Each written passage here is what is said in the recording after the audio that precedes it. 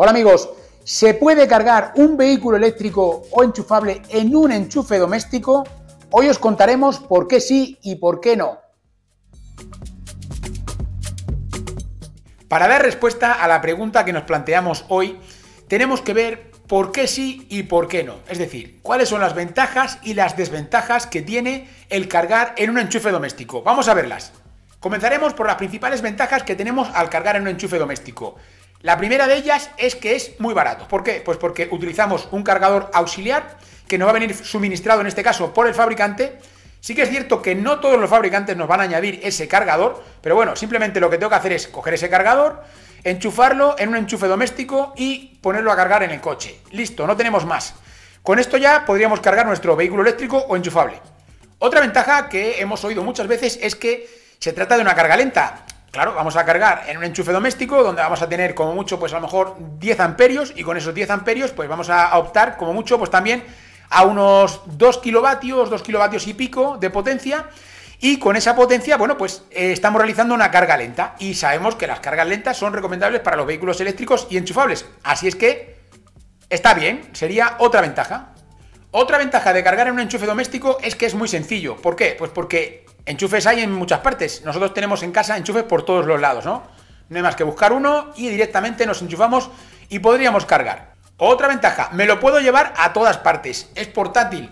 Esto es una ventaja fundamental. No tengo más que meterlo en el coche y allá donde vaya, con un enchufe normal, me puedo cargar y ya está. Hasta aquí hemos visto las principales ventajas que tenemos a la hora de cargar un vehículo eléctrico o enchufable en un enchufe doméstico. Pero claro, toda cara tiene su cruz y toda ventaja también tiene su desventaja, así es que vamos a ver cuáles son las principales desventajas de cargar en un enchufe doméstico. Comencemos por la desventaja más conocida, que es el tiempo de carga. Como tenemos una menor potencia de carga, vamos a tener que emplear un mayor tiempo para poder cargar la batería de un vehículo eléctrico. En los enchufables también ocurre, pero como no tienen una batería tan grande, pues no afecta tantísimo este aspecto en concreto. ¿Quién no ha ido a un concesionario y ha preguntado por un vehículo eléctrico y le ha dicho, ¿cuánto tarda en cargarse este coche?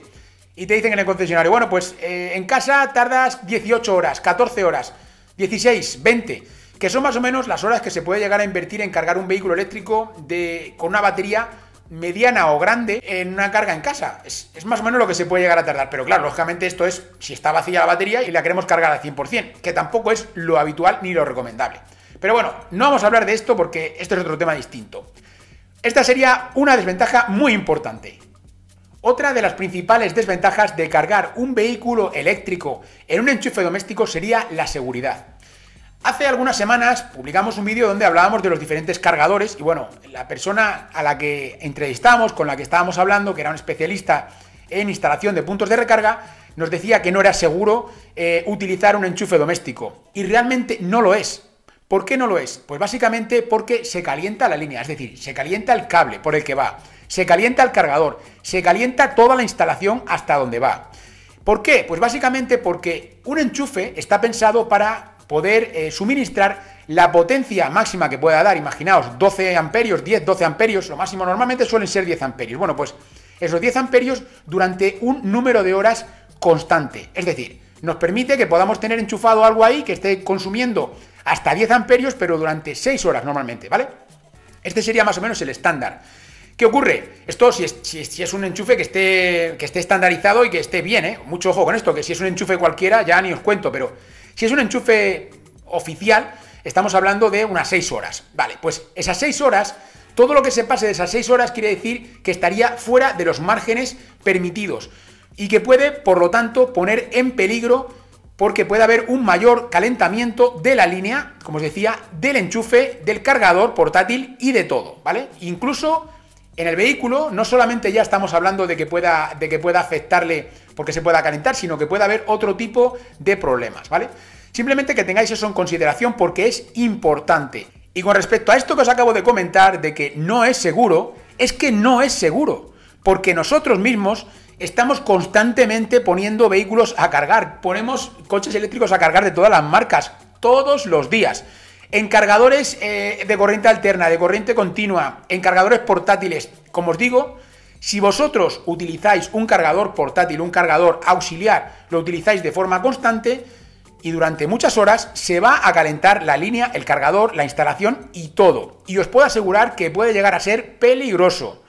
Nosotros lo hemos podido comprobar, no ha pasado nada, pero hemos visto temperaturas extremas. Con respecto al tema de la ventaja que teníamos al pues, tener un cargador portátil en, el coche, porque nos lo habían regalado, ¿no? En, entre comillas lo de regalado, porque al final lo tienes que pagar cuando compramos el coche, también hay que decir que una desventaja es que muchas veces no todo el mundo tiene ese cargador. Es decir, ese cargador no siempre viene. Hay veces que lo tenemos que añadir.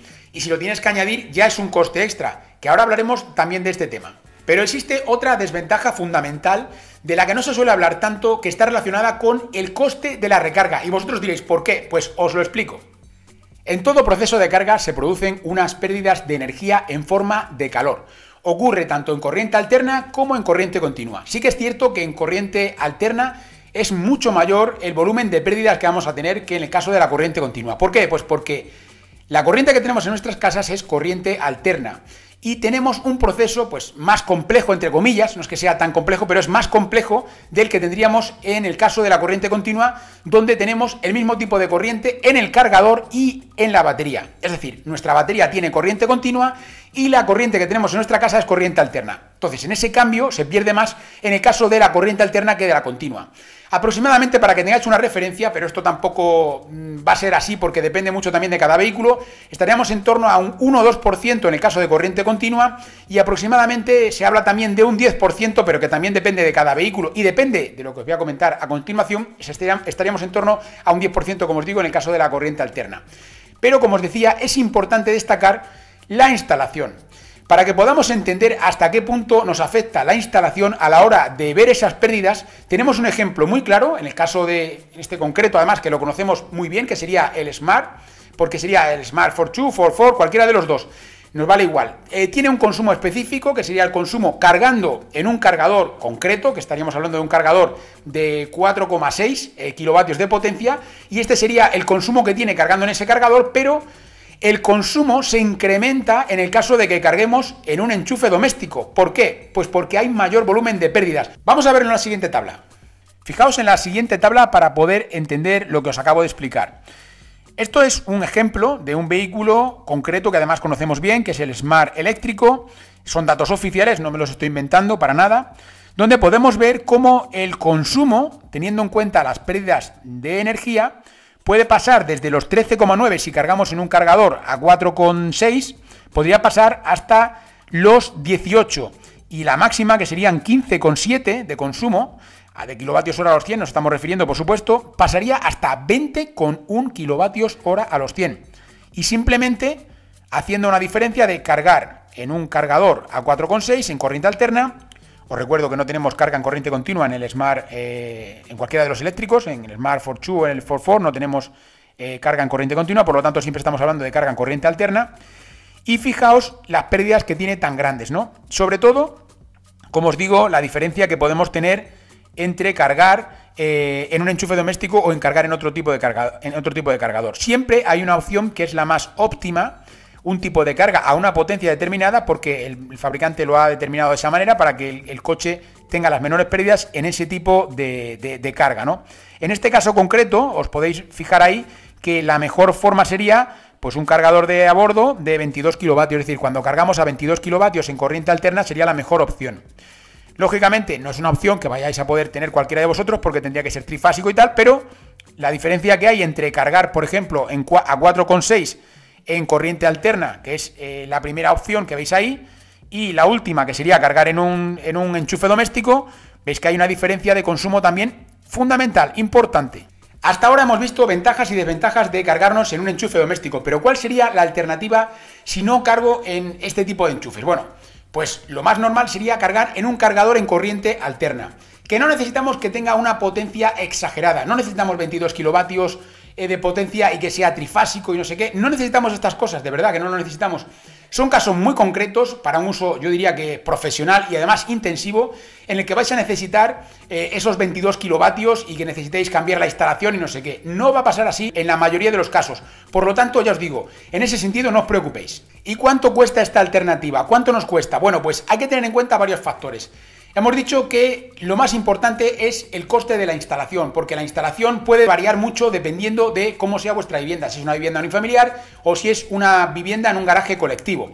Esto va a variar muchísimo. El tipo de cargador no va a afectar demasiado, ya, ya os he dicho que con uno de 3,6 tenéis más que suficiente.